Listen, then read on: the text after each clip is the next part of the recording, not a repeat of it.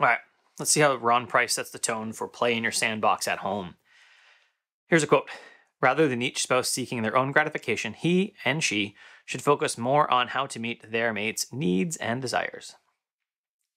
So that's we're talking about. We're talking about a marriage book called Play uh, Nice in Your Sandbox at Home. I have previously reviewed. I don't think I did a video on it. Um, Play Nice in Your Sandbox, which I will link. Uh, there might be a video. Well, it won't be me talking. It'll just be audio only. But anyway, I will link that up so that you can watch the other one, or listen to the other one, or read it, depending on what formats I have. Let's dig in. So play nice in your sandbox at home starts around his acronym for play nice. Um, and it is P, play together. L, look for the good. A, admit when you're wrong. Y, yield. So like, you know, give up a little bit. Don't always have to win. Um, N, never threaten the long-term view. I, insist on win-win. A little bit of repeat there. Uh, C, commitment. E, emotional needs must not be underestimated. I'm not going to cover every point in every chapter. There's a little bit of overlap in here. But ultimately, I think it's, I think it's a good book. Right when it comes to Ron Price's um, recommendations for like how you build a relationship, it goes past the hey, just have a date night, which you hear all the time.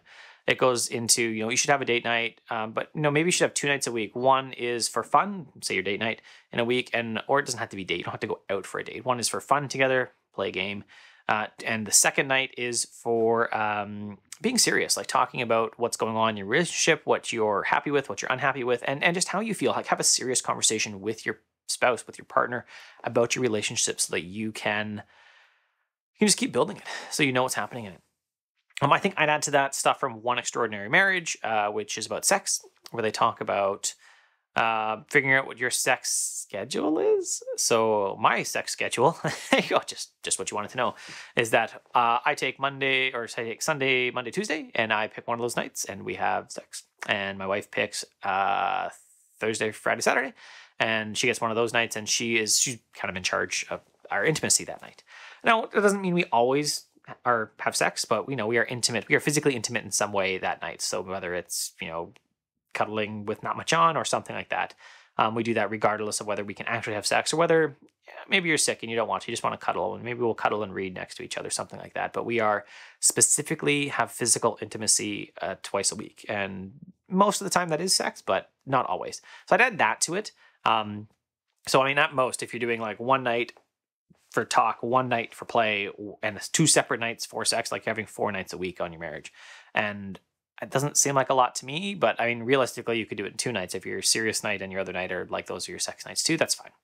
Um, but ultimately, like it says, talk about your marriage and, and invest in your marriage if you want it to grow. And a good adage is, you know, the grass is always greener where you water it, I think. that's probably a better one than what you may hear most times. Another thing that Price says, which I want to cover, is that trying to change your spouse is a waste of your energy. Um, and and really, he comes down to one sentence: is be the change you want to be in your marriage.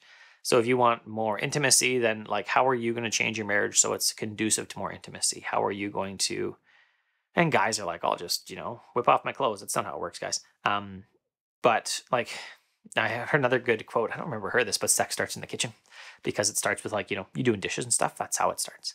Um, it starts with, you know, having a conversation with your wife. I know One Extraordinary Marriage has often said, I don't listen to the show anymore, the podcast, but I have listened to it. My wife still does.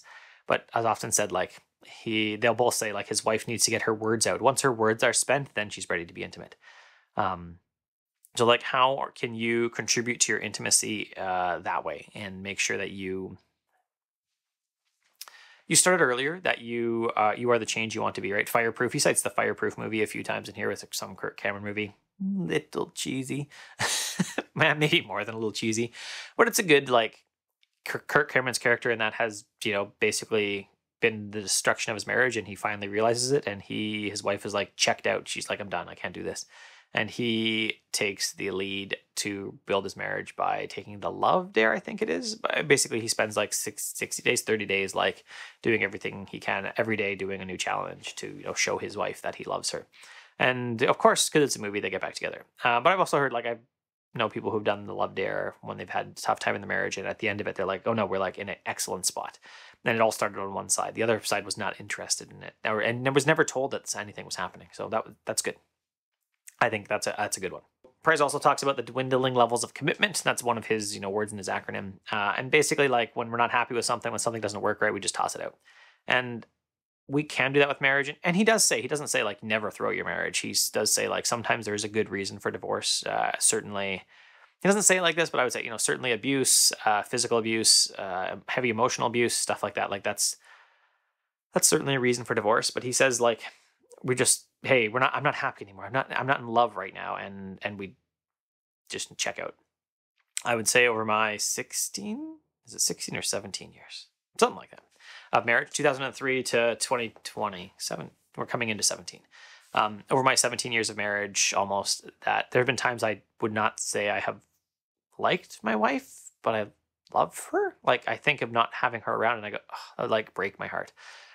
And and that happens. Like we spent an entire year like that before we had children. We're like, I don't particularly like you right now. We are arguing regularly, um, and we are not happy about the outcome of these discussions. These discussions, but uh, yeah, it it can be tough. And and the way you fix things is by putting the time in to fix them. That's how you fix things. You don't just throw them out. So commitment is a big thing for him. And probably the final point I'll highlight is that the Price talks about these discussions, as I just talked about myself.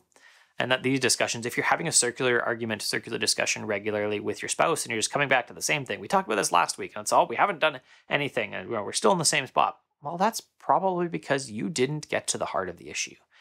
So you haven't got to like the real deep need that your spouse has. You're not addressing it still. You're just, it's just not there. So you need to do that.